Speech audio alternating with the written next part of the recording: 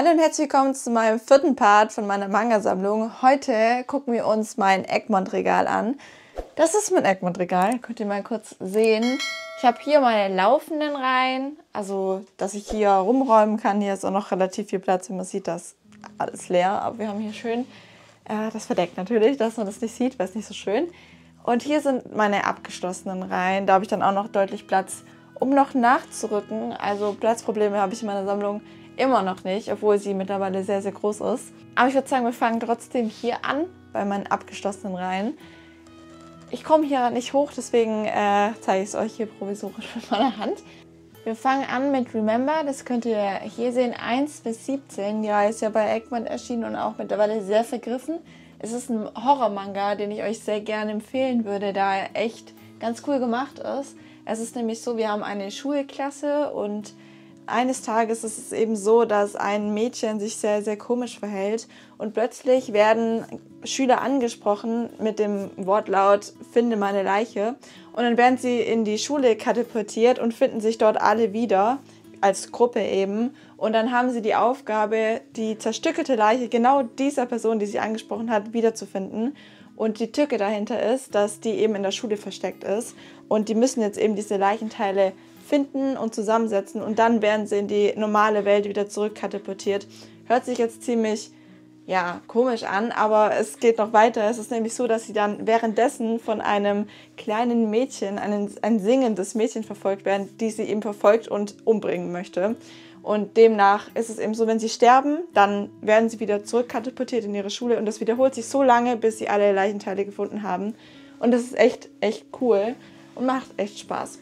Dann haben wir hier Goth. Das ist ein Einzelband. Mittlerweile haben wir da auch ein Sammelband bei Egmont zusammen. Da sind auch Bände dabei, wie hier zum Beispiel. Kiso und Can You Hear Me, die sind alle von ähm, Otsushi. Das ist eben ein bekannter Mangaka, der sich eben auf so düstere Geschichten und Einzelbände eben fokussiert hat. Und das wurde von Egmont in einem Sammelband rausgebracht. Den habe ich leider nicht, diese Collection. Aber für euch ist es ganz cool. Dann könnt ihr das gesammelt eben kaufen und habt eben alle Geschichten in einem und müsst ihr nicht separat kaufen. Die kann ich euch empfehlen, haben mir bisher alle sehr gefallen, sind sehr tiefgründig und düster.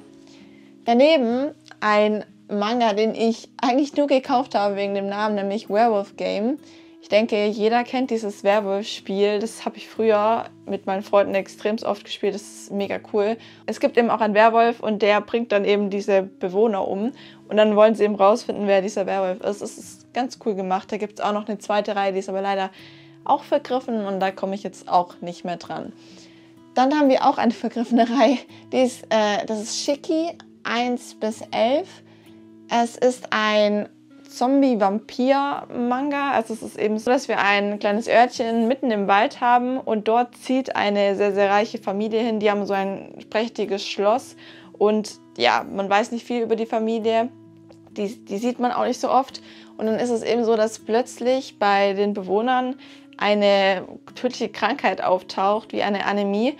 Und dann sterben eben ganz viele und ja, man denkt sich so, okay, hat das jetzt wirklich mit einer Krankheit zu tun oder hat da diese Familie was mit zu tun? Und man kann sich vielleicht denken, was es geht, wenn ich sage Vampire. Also, es ist eine sehr, sehr coole Reihe, die hat mir auch gefallen, aber man kommt leider nicht mehr dran. Das ist auch ein bisschen doof. Daneben ein Horror-Manga Noah of the Blood Sea. Bin ich ehrlich, der hat mir nicht so gut gefallen. Das ist auch ein Vampir-Manga, der spielt so auf einem Kreuzfahrtschiff wo dann plötzlich Vampire auftauchen und die Passagiere angreifen bzw. diese ausnutzen, um deren Blut zu trinken. Es hatte ganz coole Passagen in dem Manga drin, aber mir hat vor allem das Ende nicht gefallen, weil es eben offen ist. Ich glaube, es sollte weitergehen, aber es geht tatsächlich einfach nicht weiter. Ja, es ist ein bisschen schade. Daneben haben wir Another 1 bis 4, haben bestimmt schon viele den Anime gesehen, ist auch eine sehr, sehr bekannte Reihe. Dazu eben der Manga. Ich mochte den Manga sehr, sehr gerne. Er hat den Anime eben adaptiert und demnach kann man eben sich entscheiden, was man anschauen möchte, beziehungsweise ob man den Manga lesen möchte. Der war aber auch ganz cool. Daneben ein sehr bekannter Einzelband, ich glaube, von dem hat jetzt mittlerweile fast jeder gesprochen, nämlich Dark Hideout. Das ist ein Manga, der ganz cool ist, vor allem im Horrorgenre. Es handelt sich nämlich um ein Ehepaar, das sich verstritten hat, weil ihr Sohn umgekommen ist durch tragische Weise und sie wollten einfach mal auf andere Gedanken kommen und wollten eben gemeinsam Urlaub machen, gehen dann in, auf diese Insel, die relativ verlassen ist. Und dort begegnen sie dann ein Schicksal, das sie so nicht äh, erwartet haben, was wirklich sehr, sehr heftig ist. Also Dark Hideout hat mir als Einzelband auch sehr gut gefallen, aber müsste ich auch mal wieder lesen, ist schon lang her. Dann eine vergriffene Reihe, sage ich für die ganze Zeit. Arjun 1 bis 17 damit abgeschlossen. Ich liebe ja den Anime, ich liebe auch den Manga. Vor allem ist Sato, der Antagonist, ist mein absoluter Lieblingsantagonist überhaupt. In Arjun geht es nämlich darum, unser Protagonist ist ein Arjun. Bedeutet, wenn er stirbt, dann erwacht er wieder. Also dann lebt er plötzlich wieder und wird dann eben überfahren vor seinen Freunden und er erwacht wieder zu leben. Und die, die merken das halt und sagen das dann der Behörde bzw. der Regierung. Und dann ist es eben so, dass er auf der Flucht ist, da die Regierung jetzt diese Archen einfangen möchte, um mit ihnen zu experimentieren. Bedeutet, sie wollen sie die ganze Zeit umbringen und dann, das ist ja voll die Qual, wenn du die ganze Zeit umgebracht wirst, nur dass die an dir experimentieren können. Und so geht es dann, dass halt Menschheit gegen Arjun sind. Genau. Dann haben wir Starthing Anonymous, das ist 1 bis 7, ist ebenfalls ein Horrormanga. Man sieht, ich habe hier so meine Horrormanga angereiht ist tatsächlich eine Reihe, die ganz, ganz viele richtig cool finden. Ich mochte das Ende überhaupt nicht, weil das Gefühl immer ähnlich ausgeht. Genauso wie bei Kohime, da war das auch ähnlich mit dem Ende. Es gefällt mir einfach nicht, wenn es in eine spezielle Richtung geht. Ich werde es jetzt natürlich nicht sagen, aber es geht darum, dass es eine Menschenfarm gibt und dort werden eben Menschen hingebracht, werden gemästet und ja, dann geht es eben darum, dass unser Protagonist da eben hinkommt und es ist schon echt echt heftig, was dort teilweise passiert. Also ja, auf jeden Fall nicht für schwache Nerven. Das 2 ist echt eklig, aber das Ende hat mir einfach nicht gefallen. Daneben haben wir Sankaria 1 bis 11. Das ist ein Zombie-Edgy-Manga. Also unser Protagonist möchte, also er liebt Zombies, er ist verrückt nach Zombiefilmen, nach allem, was mit Zombies zu tun hat und er wünscht sich eben einen Zombie als Freundin und trifft auf ein Mädchen, das sich durch ein Ereignis in einen Zombie verwandelt kann dementsprechend natürlich nicht mehr normal leben, da sie nicht mehr normal essen kann. Sie verfault langsam, also ihre Körperteile faulen ab und sowas, weil sie ein Zombie ist. Und sie hat ja eigentlich ein normales Leben gehabt. Sie kann jetzt nicht einfach zur Schule gehen, weil sie jetzt ja eben nicht mehr lebendig ist. Genau darum geht das Ganze. Aber da waren teilweise extrem komische und weirde Sachen mit ihrem Vater. Also ihr Vater ist echt weird. Und der hat so ein bisschen komplex. Dann geht es hier weiter. Wir haben 1 bis 11 von Dolly Kilkel. Die Reihe, beziehungsweise ich glaube, der Zeichner hat auch äh, Blue Lock gemacht. Beziehungsweise ich weiß nicht, ob es der Zeichner oder der Storyteller ist. Auf jeden Fall einer von beiden. Das ist eine Reihe, da wird die Welt von Puppen heimgesucht, die alle umbringen wollen. Also man hat auf jeden Fall Puppen und die Menschheit wird von Puppen attackiert und abgemetzelt ja, ist ein Action-Manga. Der war aber ganz spaßig, aber ja, muss man halt mögen.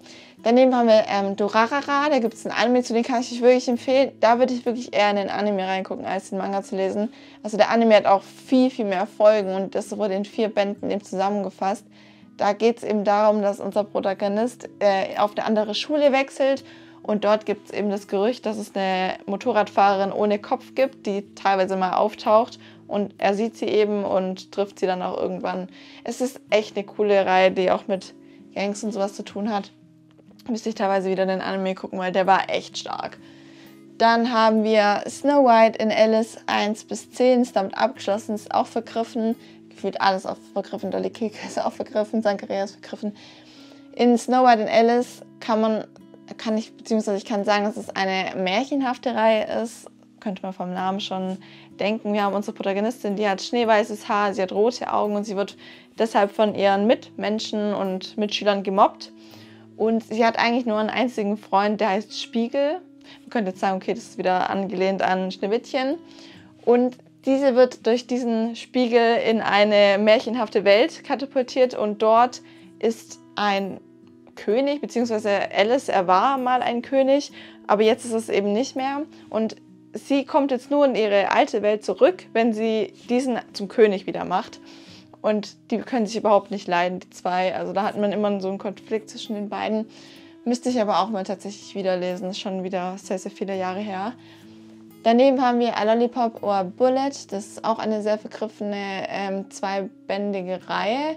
die sehr traurig, sehr emotional ist. Das ist eine Freundschaft zwischen zwei Charakteren und eine davon äh, hinkt immer mit ihrem Bein so zurück und deswegen wird sie halt auch teilweise gemobbt und gehänselt, da viele Leute sich darüber lustig machen. Und sie sagt nämlich von sich aus, dass sie eine Meerjungfrau ist. Und man glaubt dann teilweise, okay, bildet sie sich das Ganze ein oder ist es wirklich so? Und es ist wirklich sehr tragisch. Also kann ich euch sehr empfehlen, wenn ihr daran kommt. Daneben haben wir Assur und Claude 1 und 2. Ich würde es euch wirklich gerne empfehlen, aber die Reihe ist, glaube ich, geäxt worden. Also ich glaube, sie ist abgebrochen worden. Der dritte Band, der kam schon ewig in Japan nicht raus und man weiß auch nicht, ob es jemals überhaupt weitergehen wird. Aber es geht auf jeden Fall darum, unser Protagonist hat die Fähigkeit, Leute zu manipulieren und so treibt er Leute in den Selbstmord und trifft dann irgendwann auf ein Mädchen, das er nicht so richtig kontrollieren kann. Und die scheint wirklich irgendwie hinter seine Fähigkeit zu kommen und, und sein Geheimnis zu wissen. Also war eigentlich ganz cool. Voll schade, dass es nicht weitergeht, aber so ist es halt. Dann haben wir von Inya Sano, der hat auch bei Egmont nämlich äh, eine Reihe, nämlich What a Wonderful World 1 und 2. Das ist eigentlich, hat ganz, ganz viele Kurzgeschichten drin über Konflikte von Menschen, zum Beispiel jemand oder eine Schülerin, die gemobbt wird oder ein Ehepaar, das sich auseinanderlebt. Also solche Kurzgeschichten sind dort drin verpackt, halt im Stil von Inyo Asano. Dann haben wir Parasite in Love. Da geht es um einen Programmierer, der so ein Virus programmiert. Und er ist auch jemand, sage ich auch, weil ich dieses Punpun-Video gemacht habe und ich gerade über Inu Asano geredet habe. Ähm, er geht nicht mehr aus dem Haus raus. Er hat so eine Angst vor Bakterien, deswegen verlässt er das Haus nicht und programmiert eben in seinem Haus diesen Virus. Und eines Tages an Heiligabend entwickelt er eben ein Virus, das alle Handys davon befallen werden und dass das halt alles nicht mehr funktioniert. Und er hat eigentlich so dieses Ziel, dass die Menschen mal für zwei Tage nicht die ganze Zeit am Handy sind und mal in sich gehen und vielleicht mal ja, einen Tag ohne dieses ganze, die ganze Strahlung zu erleben. Und dann trifft er auf ein Mädchen und dann wird's weird. Der hat richtig gut angefangen, aber das wird halt richtig weird, weil sie ist super jung und er muss auf sie aufpassen und irgendwie entwickelt sich so eine Liebesgeschichte, und das ist weird. Daneben haben wir, ich habe mein Leben für 10.000 Yen pro Jahr verkauft, 1 bis 3.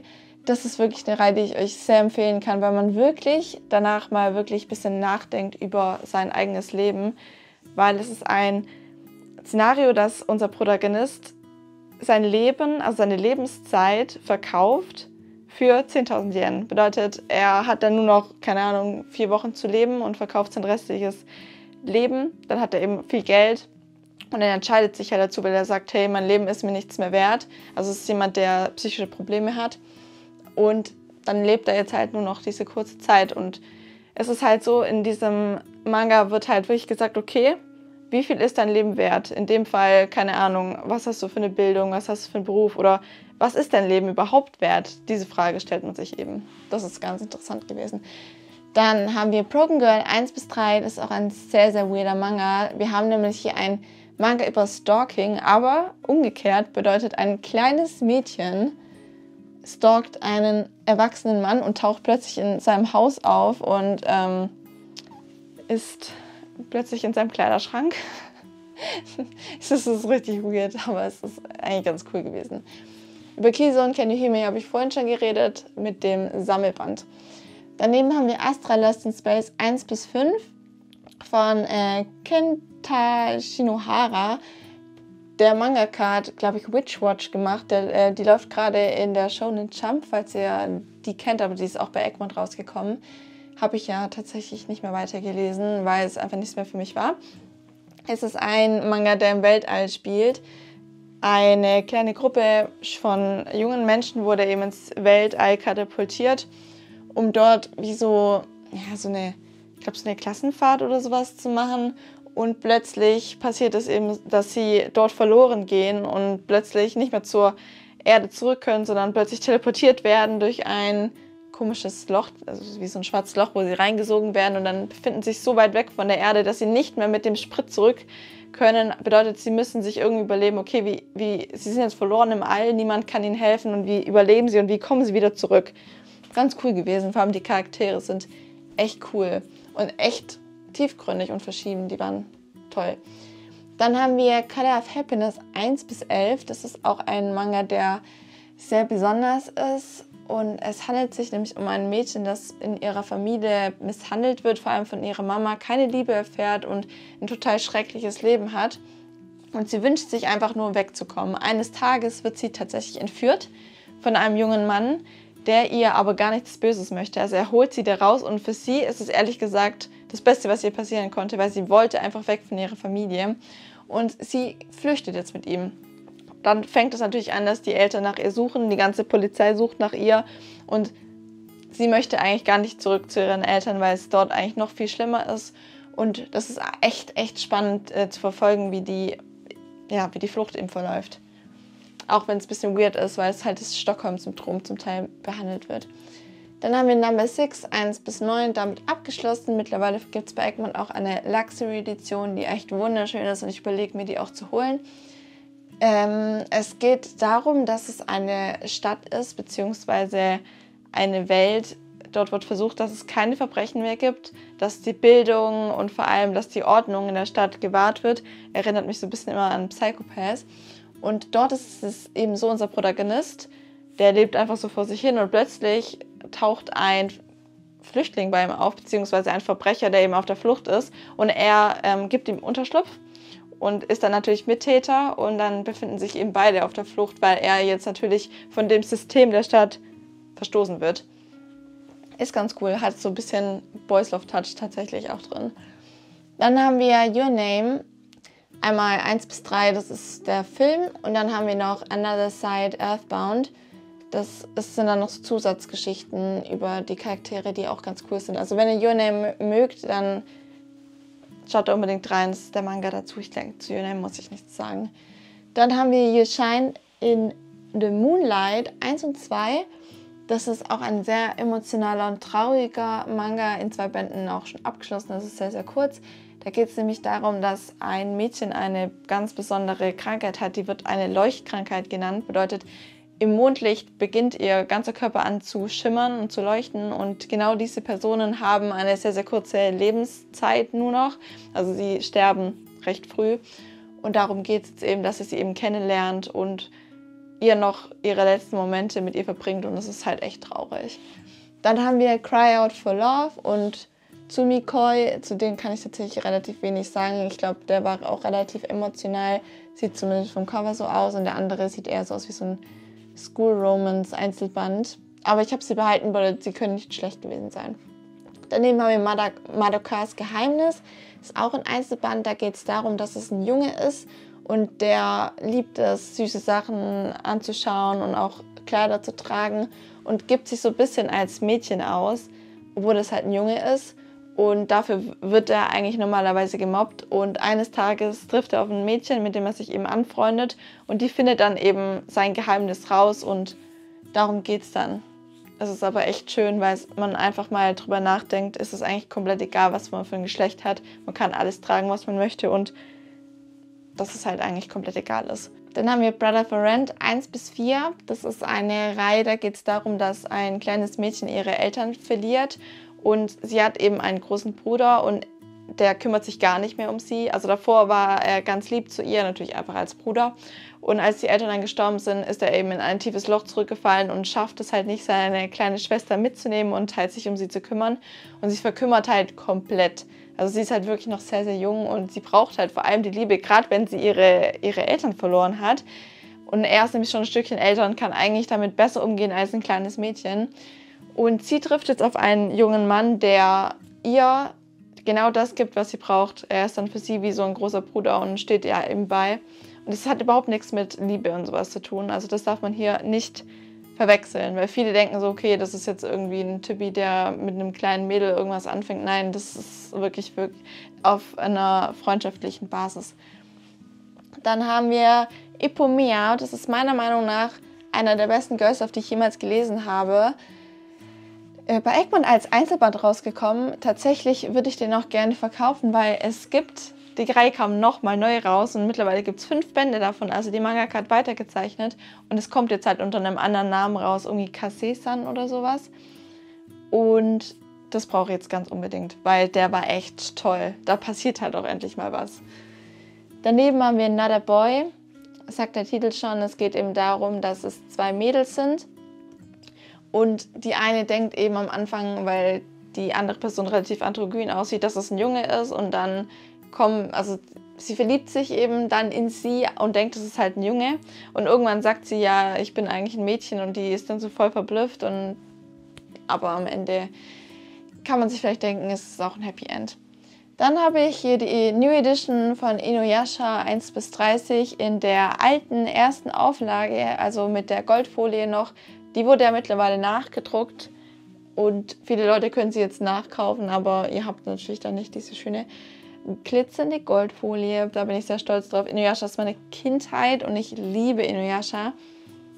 Also ich muss dazu, denke ich, auch nichts sagen. Ich denke mal, Inuyasha kennt ihr mit Kagome und Inuyasha zusammen und Sango und allen. Das ist einfach nur ein Abenteuer, auch wenn es sich natürlich ein bisschen gezogen hat und immer wieder das mit Narake sich wiederholt, aber es ist halt Inuyasha. Dann haben wir den purpurne Fächer.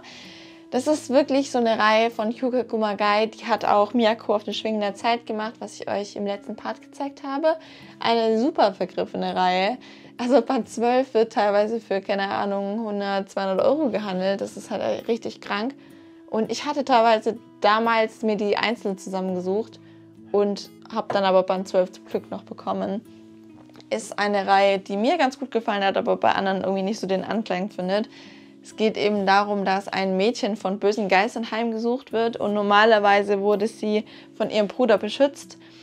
Das funktioniert jetzt aber nicht mehr, da der, glaube ich, irgendwie umkommt. Und jetzt trifft sie auf einen jungen Mann, der sie eben beschützen möchte, weil sie wird eben die ganze Zeit befallen und er beschützt sie und sagt ihr, er beschützt sie, weil er sie über alles liebt und sie kann das irgendwie nicht so glauben, weil sie sich halt kaum kennen. Und so lernen sie sich halt kennen und da ist auch ein bisschen Romance drin. Ist aber auch schon lange her, dass ich es gelesen habe. Genauso wie an deiner Seite von Emma Toyama, die auch XXX Me gemacht hat, habe ich tatsächlich nicht gelesen es war ganz nett, sagen wir mal so, aber es ist auch sehr, sehr naiv und kindlich. Ihr könnt mir ja mal sagen, ob irgendwas von Ema Toyama ähm, mir gefallen könnte. Habe ich auf jeden Fall behalten. Nun kommen wir aber wirklich zu Sakia Kawa. Da haben wir jetzt Wenn das Liebe ist 1 und 2. Das ist einfach so ein Schulromance-Manga. Ja, ich behalte es tatsächlich nur, weil ich Sakia Kawa echt gerne mag. War jetzt nicht so besonders in Love with You, auch jetzt nichts äh, unglaublich Besonderes. Dann haben wir Beast Boyfriend, das war ihre erste Reihe, die ich von ihr gelesen habe, 1 bis 13.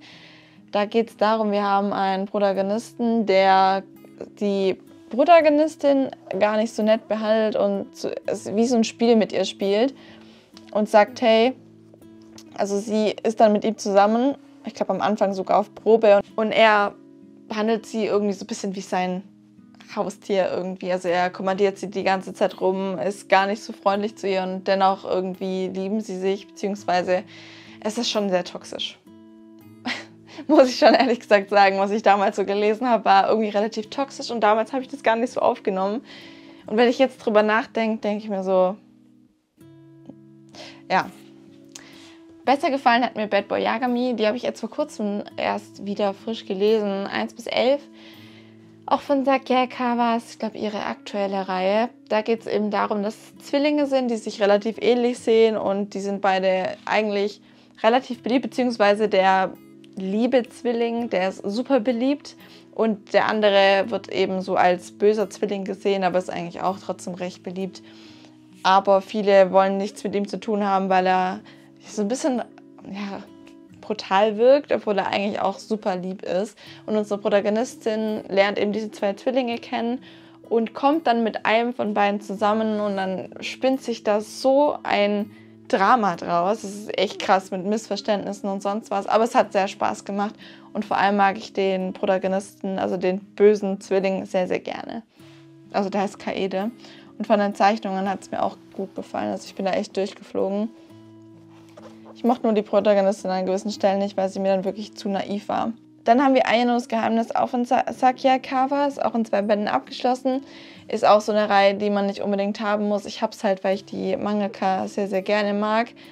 Da geht es nämlich darum, wir haben eine Schulsprecherin und die ist dann auf irgendwie so einer Party und eines Tages wacht sie dann ähm, nackt neben irgendeinem Typi auf und der erpresst sie dann damit, dass er damit eben rausrückt bei seiner Klasse, weil sie ist natürlich so diese Streberin, die immer Ordnung hat und sowas ja nie machen würde.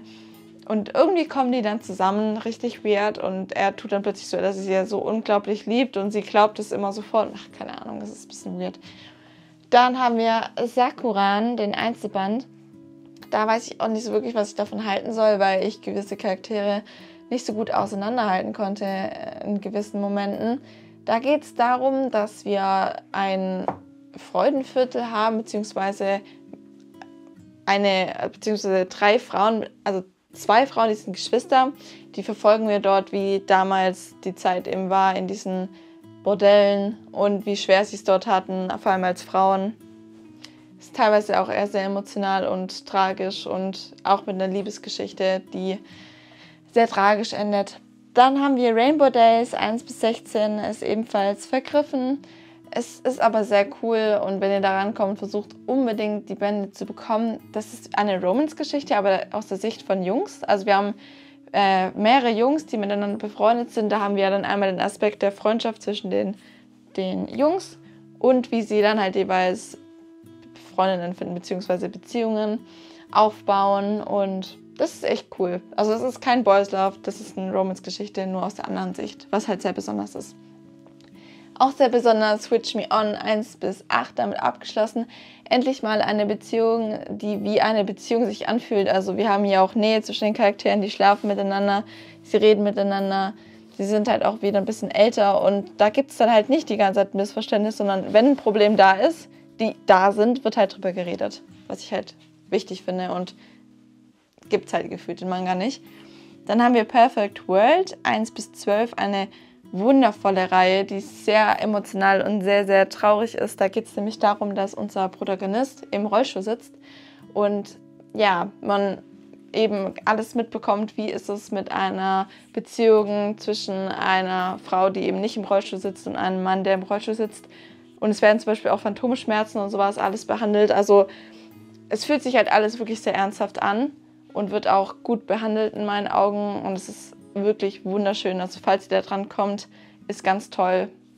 Ist wirklich richtig zu empfehlen. Dann haben wir ähm, Guten Morgen, den Röschen 1 bis 6, ist ebenfalls vergriffen, genauso wie auch Perfect World, das ist alles vergriffen. Da geht es darum, dass unser Protagonist einen Nebenjob annimmt als Haushälter in einem Haus und dort trifft er auf diese Frau, beziehungsweise dieses Mädchen, das sitzt auf der Bank und er unterhält sich mit ihr und freundet sich mit ihr an, aber ihm fällt irgendwie auf, dass er wie mit zwei verschiedenen Persönlichkeiten spricht, weil einmal ist sie super anders als am nächsten Tag und dann geht es eben darum, dass sie vielleicht eine Persönlichkeitsstörung hat, also eine multiple Persönlichkeitsstörung. Genau, darum geht's. Dann haben wir Tokyo Girls 1 bis 9 müsste das sein von Akiko Higashimura und ich liebe diese Frau. Ich liebe diese Mangaka und ich ich kann nur genug davon schwärmen. Es gibt genug Leute, die mögen Tokyo Girls nicht. Ich kann es verstehen, aber ich finde es so unterhaltsam. Das ist eben so, das sind Frauen, die sind über 30, beziehungsweise sie sind halt einfach schon ein bisschen älter und die haben keine Beziehungen, die haben kriegen es nicht geschissen, eine Beziehung aufzubauen. Die sind halt mitten im Arbeitsleben und die eine heult irgendeinem verheirateten, Mann hinterher und sie ist eigentlich nur die Affäre und dann ist es so, dass sie sich immer mal wieder in der Bar treffen, die trinken die ganze Zeit und quatschen über ihr nicht vorhandenes Liebesleben. Es ist einfach, ich finde es super unterhaltsam und super witzig. Dann haben wir Careful's Love 1 bis 10. Ist auch ein Romance-Manga, ein Mädchen, das von ihren Freundinnen recht schlecht behandelt wird. Also sie hat diese Freundinnen in Anführungszeichen, Freundinnen, die behandeln sie halt einfach wirklich nicht gut. Und sie lernen dann immer einen Mann kennen, der ihr eben jetzt mal wirklich Zuneigung zeigt und ihr zeigt, was Liebe ist, weil sie die davor halt von niemandem bekommen hat. Und es ist dann halt eine ganz schöne Liebesgeschichte. Ist auch schon ein bisschen älter. Dann haben wir A Silent Voice. Alle Leute, die A Silent Voice kennen, den Film, da haben wir den Manga dazu in sieben Bänden abgeschlossen. Es ist super, super traurig. Also es ist eine Geschichte über Mobbing, um ein Mädchen, das ähm, ebenfalls taubstumm ist, genauso wie ein, ein Zeichen der Zuneigung. Und Es ist einfach tragisch, traurig, aber trotzdem wunderschön. Ich liebe den Film und der Manga dazu ist auch sehr zu empfehlen. Dann haben wir Kokoro Button 1 bis 12. Ist einfach eine Liebesgeschichte. Ein Mädchen, das mit einem Jungen eine Beziehung auf Probe anfängt, wie so oft. Und die lernen sich dann eben lieben in diesen zwölf Bänden. War ganz süß. Mir hat vor allem halt der Zeichenstil gefallen. Das ist auch von Mika Osami. Vielleicht erinnert euch im letzten Part, die zum Beispiel Evening Twilight gemacht hat. Oder Spice and Custard. Deswegen habe ich die Reihe gekauft, weil ich die Mangaka mag. Dann haben wir Jobbits in dem alten Schuba und den achten Band habe ich tatsächlich doppelt, der ist noch eingeschweißt. Zu Jobbits habe ich ein ganzes Video gemacht, das würde ich euch einfach hinterm i verlinken, dann könnt ihr da reingucken, falls es euch interessiert. Das war meine erste Reihe, so bin ich mit Claire in Berührung gekommen. Dann haben wir Mixed Up First Love 1 bis 9 damit abgeschlossen und ich liebe diese Reihe. Die enthält Romance, Comedy, Boys Love, alles Mögliche. Es ist einfach wirklich eine cozy Reihe, die mich immer zum Lachen gebracht hat. Es geht nämlich darum, unser Protagonist ist eigentlich in ein Mädchen verliebt und eines Tages ähm, nimmt er von diesem Mädchen ein Radiergummi an und da auf diesem Radiergummi steht eben der Name von demjenigen drauf, in dem sie verliebt ist, mit so einem Herz. Und er nimmt halt den Radiergummi, weil er seinen vergessen hat und dieser fällt ihm dann runter. Und genau die Person von, also mit dem Namen darauf hebt diesen Radiergummi auf und denkt dann, dass er, dass, dass der Radiergummi ihm gehört. Und jetzt verklickert er ihm halt, dass er in ihn verliebt ist, weil er natürlich nicht möchte, dass das andere Mädchen, also dass es rauskommt, dass er, dass sie in ihn verliebt ist. Es ist kompliziert zu erklären, aber es ist echt witzig gemacht. Dann haben wir Living with Matsunaga in elf Bänden abgeschlossen. Ist auch eine wundervolle Romance-Geschichte mit einem so schönen Zeichenstil. Das ist echt toll. Sie zieht eben in diese Wohngemeinschaft und da ist eben auch Matsunaga, lernt ihn kennen und verliebt sich halt in ihn. Und das hat so tolle Charaktere da drin und ich, ich liebe einfach alles an dieser Reihe. Die ist wirklich sehr, sehr schön. Dann von Rin Mikimoto, die auch Kurs um Mitternacht gemacht hat, Close to Heaven. Super vergriffen. Leider, ich muss wirklich sagen, leider, die ist sowas von toll. Wir haben unsere Protagonistin Nino, die ich echt toll finde. Sie ist ein Mädchen, das relativ zurückhaltend ist und sie trifft eben auf diesen jungen Mann. Sie hat so einen Vogel, mit dem sie eine ganz, ganz besondere Bindung hat. Also sie hat ihn als Haustier. Und es ist eine so traurige Romance-Geschichte, weil unser Protagonist ein trauriges Schicksal erfährt und die beiden das dann gemeinsam durchstehen müssen. Und das, ich habe so geheult. Ich habe so geheult bei diesem Manga. Dann Say I Love You. 1 bis 18 müsste das sein. Es ist eine Romance-Reihe, die kann ich kurz zusammenfassen. In dieser Reihe geht es darum, unsere Protagonisten kommen relativ schnell zusammen, aber wir verfolgen einfach deren Beziehung in den 18 Bänden, also Probleme, die auftreten, dass sie dann auch ins Arbeitsleben kommen. Also es ist jetzt nicht so wie bei anderen, dass sie erst zusammenkommen in diesen 18 Bänden, sondern sie kommen relativ schnell zusammen und man hat dann eben die Beziehung der beiden, was ich einfach ganz schön finde, weil das fehlt mir ganz oft in Reihen. Dass man eben mehr in der Beziehung sieht und nicht nur bis zur Beziehung. Das gleiche haben wir dann auch in LDK. Sie kommen auch relativ schnell zusammen und man erfährt einfach mehr über die Beziehung, aber es ist auch sehr viel Drama da drin. Eine meiner liebsten Reihen, muss ich sagen, leider auch super vergriffen. Ich liebe diese Reihe über alles. Ayu Watanabe ist eine so talentierte Mangaka, die spannende Dramageschichten erzählt über eben diese Liebesgeschichte. Und die sind eben auch schon ein Stückchen älter. Daneben Waiting for Spring ebenfalls vergriffen, also das ist alles vergriffen. Sailor View ist auch vergriffen. Kann ich bei Egmont sagen, mein halbes Regal ist einfach nur vergriffen. Es ist auch ein Romance-Manga, aber wir haben hier noch Basketball mit drin. Also sie wird Managerin in einem Basketballclub und verliebt sich eben dort in einen Spieler. Recht schnell zusammengefasst. Dann geht es hier weiter mit Conan. Ich habe nämlich natürlich auch Conan in meiner Sammlung. Das ist der Manga, mit dem ich in dieses ganze Manga-Game reingekommen bin. Mit dem Anime, mit dem Manga. Ich habe bis Band 89 bzw. bis Band 88 habe ich den Manga und noch ein paar einzelne Bände. Aber ich bin noch mittendrin im Manga. Den Anime habe ich natürlich ähm, auch als Kind geguckt und auch bei den Filmen bin ich gerade dran. Ich liebe Con über alles. Dann habe ich natürlich auch Wild Police Story von Con. Das ist so ein Einzelband über die. Ich will es nicht spoilern. Ich darf das nicht sagen, aber es ist auf jeden Fall ein sehr, sehr guter Einzelband. den ich euch auch sehr ins Herz legen kann. Aber wenn ihr ihn lest, ihr werdet gespoilert. Das ist eben so. Genauso wie ganz viele Filme spoilern. Dann geht es hier weiter mit Chainsaw Man 1 bis 14. Man sieht hier einmal noch äh, die Limited Edition eingeschweißt, wie einfach weil ich eine Sam Sammlerin bin. Das ist Part 2 und das ist Part 1. Part 1 habe ich jetzt vor kurzem erst wieder rereadet, also tatsächlich vor zwei Tagen. Und gestern habe ich Band 11 beendet. Ich muss sagen, der zweite Read hat mir deutlich besser gefallen, aber über Chainsaw Man, wenn ich es gelesen habe, beziehungsweise ich auf dem aktuellen deutschen Stand bin, werde ich auf jeden Fall ein Video drüber machen, weil die Reihe mir beim zweiten Mal wirklich viel besser gefallen hat beim ersten Mal. Ich habe mit Tori zusammen die Reihe nochmal gelesen, aber ich denke, zu Chainsaw Man muss ich nichts sagen. Ich denke mal, die Story ist recht bekannt. Es geht ja, wie gesagt, um Chainsaw Man, beziehungsweise um Dandy, der mit ähm, Pushita fusioniert. Also sie ähm, ist dann in ihm als Herz und er kann sich in Chainsaw Man verwandeln und muss dann dort Teufel äh, jagen als Teufeljäger. Dann haben wir Mord in a Doll. 1 bis 11. Ich denke mal, beziehungsweise habe ich nochmal 1 bis 10 auf Japanisch. Ich liebe Mord in a Doll, ich liebe Marin, ich liebe Gojo. Sie ist Cosplayerin und er hilft ihr eben dabei, diese Cosplays zu machen. Und zwischen den beiden wandelt sich eine Liebesgeschichte an, die aber irgendwie leider nicht so vorangeht, wie ich es möchte. Also ich wünschte, sie würden zusammenkommen, aber ja, wir hoffen weiter. Wir hoffen weiter, dass es passiert. Aber sie ist wirklich wundervoll und ich liebe alle Charaktere, vor allem Gojo. Ist so ein herzensguter Mensch und Marin ist auch total toll. Ich lieb's. Dann geht es weiter.